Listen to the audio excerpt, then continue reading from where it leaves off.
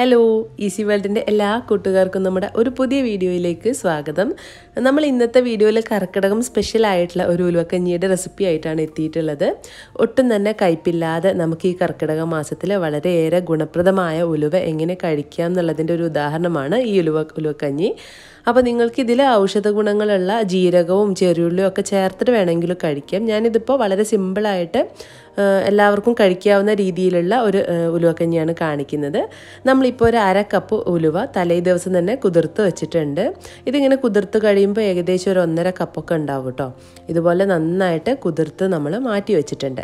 നമുക്ക് ഉലുവക്കഞ്ഞിയുടെ കയ്പ്പ് കുറയ്ക്കാൻ വേണ്ടിയിട്ട് ഈ കുതിർത്ത് വെച്ച വെള്ളം ഒഴിവാക്കണമെങ്കിൽ ഒഴിവാക്കാം കേട്ടോ അല്ല നമുക്ക് ഔഷധ ഗുണങ്ങളാണ് നമ്മൾ പ്രാധാന്യം കൊടുക്കുന്നതെങ്കിൽ ഈ വെള്ളം ഒഴിവാക്കാതെ തന്നെ കുക്ക് ചെയ്യുന്നതാണ് നല്ലത്.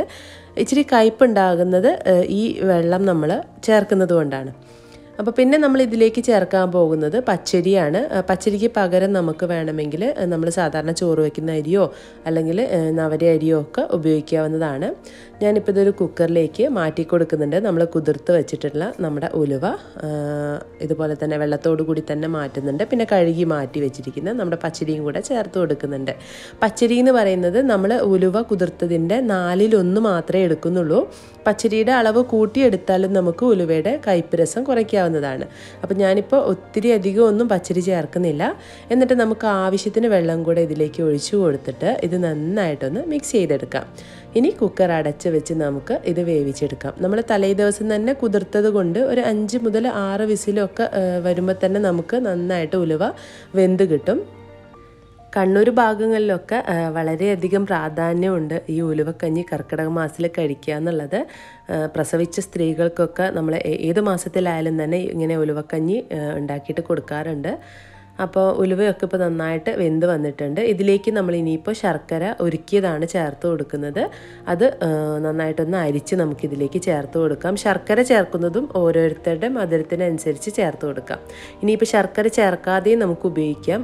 അപ്പോൾ ജീരകവും ചെറിയുള്ളി വെളുത്തുള്ളി ചുക്ക് ഒക്കെ നമുക്ക് ആവശ്യമാണെങ്കിൽ ഈ ഒരു സമയത്ത് ചേർത്ത് കൊടുക്കാം കേട്ടോ.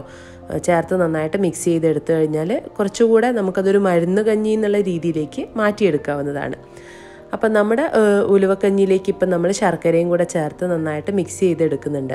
ഇപ്പം ഈ അരിയൊക്കെ ഏകദേശം നന്നായി കുക്ക് ചെയ്ത ഒരു പരുവത്തിലാണുള്ളത്. ഇനി നന്നായിട്ട് ഇതൊരു കഞ്ഞിയുടെ പരുവത്തിലേക്ക് നമുക്കൊന്ന് വെന്ത് കിട്ടേണ്ടതായിട്ടുണ്ട്. അതുവരെ നമുക്കിത് നന്നായിട്ടൊന്ന് തിളപ്പിച്ചെടുക്കാം. ഇനി നമ്മൾ ഈ ഒരു അവസരത്തിന് ശേഷം നമ്മൾ ഇതിലേക്ക് നമ്മുടെ കഞ്ഞി ലൂസായി കിട്ടാൻ വേണ്ടിയിട്ട് ഒഴിക്കുമ്പോൾ തണുത്ത വെള്ളം ഒഴിക്കാതെ നല്ല തിളച്ച വെള്ളം ഒഴിക്കാനായിട്ട് ശ്രദ്ധിക്കണം. അല്ലെങ്കിൽ നമ്മുടെ ഉലുവ കല്ലിച്ചു പോകുമെന്ന് പറയും. അതായത് പിന്നെ വേവാത്തൊരവസ്ഥയിലേക്ക് മാറും. പിന്നെ നമ്മളിപ്പോൾ ഇതിലേക്ക് ആവശ്യത്തിന് ഉപ്പ് ചേർത്ത് കൊടുക്കുന്നുണ്ട്. പിന്നെ തേങ്ങ കൂടെ ചേർത്ത് കൊടുക്കുന്നുണ്ട്. തേങ്ങയൊക്കെ ഒരുപാട് ചേർത്ത് കഴിഞ്ഞാൽ നമുക്ക് ഈ പറഞ്ഞതുപോലെ ഉലുവക്കഞ്ഞിയുടെ കയ്പ്പ് രസം കുറയ്ക്കാം തേങ്ങ നന്നായിട്ട് കഴിക്കുന്നത് ശരീരത്തിന് ഗുണം മാത്രമേ ചെയ്യുള്ളൂ. ഇനിയിപ്പോൾ തേങ്ങ കഴിക്കാൻ പറ്റാത്തവരാണെങ്കിൽ തേങ്ങയുടെ അളവ് കുറച്ചെടുക്കാം. ഇപ്പം നമ്മുടെ ഉലുവക്കഞ്ഞി നന്നായിട്ട് തേങ്ങയൊക്കെ മിക്സ് ചെയ്ത് വന്നിട്ടുണ്ട്.